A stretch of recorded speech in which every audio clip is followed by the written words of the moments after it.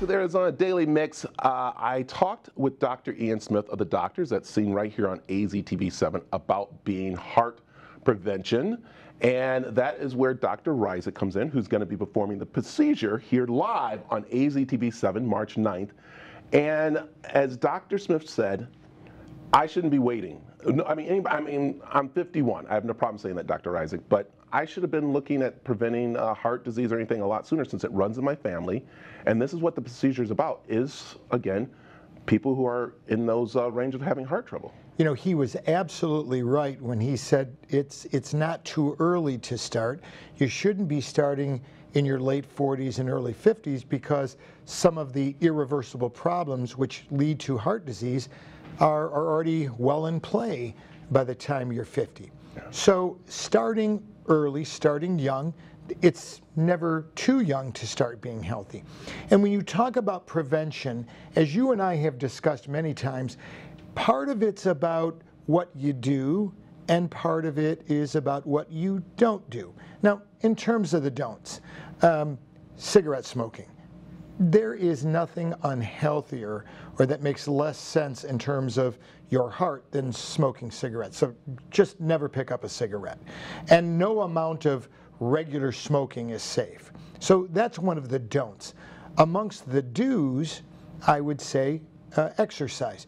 We should get in the habit of exercising starting at a very young age and continue that. I, am always concerned when I see uh, teenagers who are already starting to become sedentary, starting to gain weight.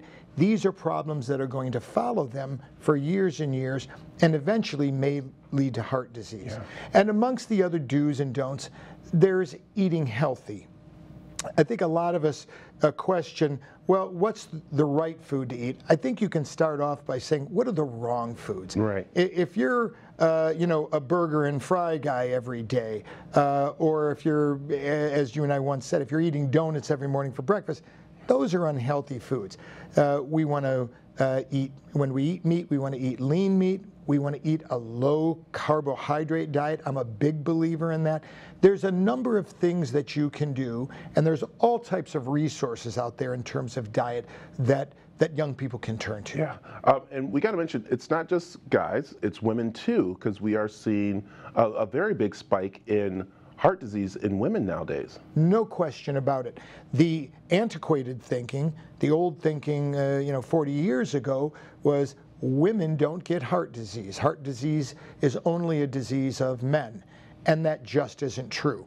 We know at younger ages, men have a higher rate of heart disease than women, but as you get into the 60s, there's a catch-up phenomenon.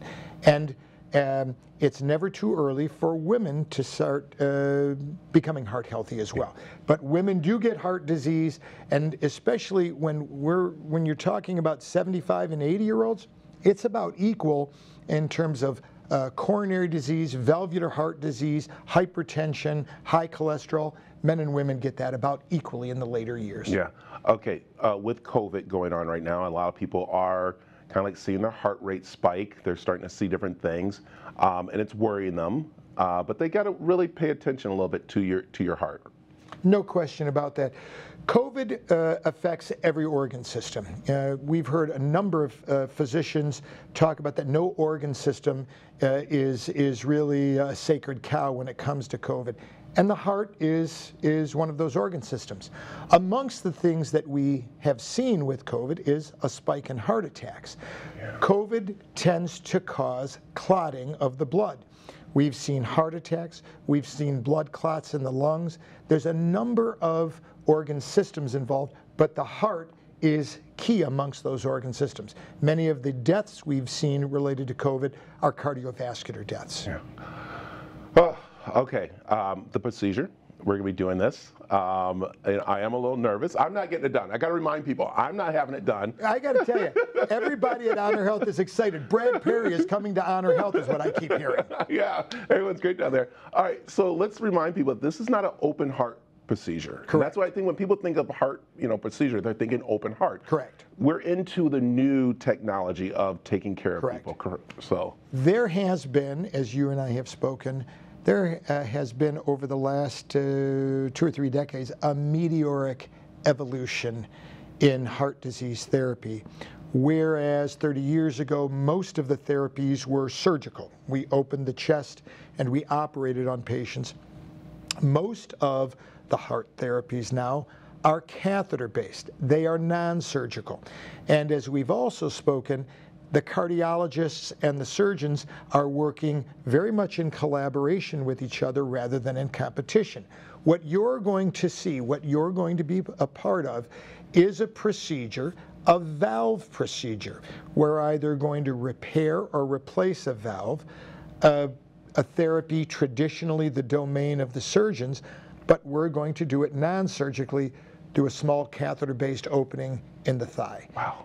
Now, the, the plan is to take a patient who probably five, six, seven years ago would have had no treatment option to treat the patient through a catheter based methodology to repair or replace the valve, and there's a 90% chance that that patient is going to go home the very next day.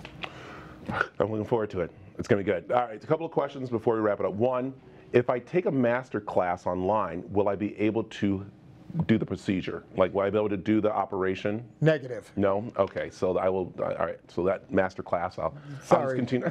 It's going to take a couple more courses All after right, that. and number two, talking to all those guys out there who might have their heart broken this coming up Valentine's Day.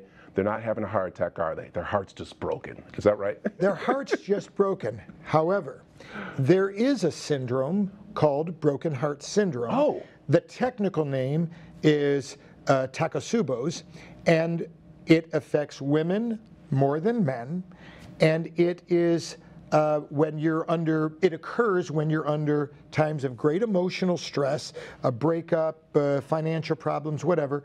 And it does affect women more than men. And what happens is you can actually have a heart attack without having blocked coronary arteries. I didn't know that. Absolutely. I was just joking about that, but that's Nope. really, that's, It's a real syndrome. Wow. We see it. I probably see three or four of these a year, and the patients come in, and the classic patient is a woman 40 or 50 years of age who uh, comes in with, with chest pain and heart attack like symptoms, but in the end, doesn't have blocked coronary arteries. And the treatment of it uh, is is very different, uh, but we do see that. Look at that. I just got that answered right there. I was having fun. Now we just got real serious. Wow.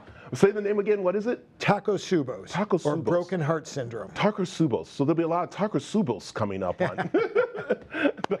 Rizik, thanks for joining us. We have all the information of how the procedure is going to go and what's happening on aztv.com. So please go check it out on the page and uh, and get ready. We're going to be uh, doing surgery.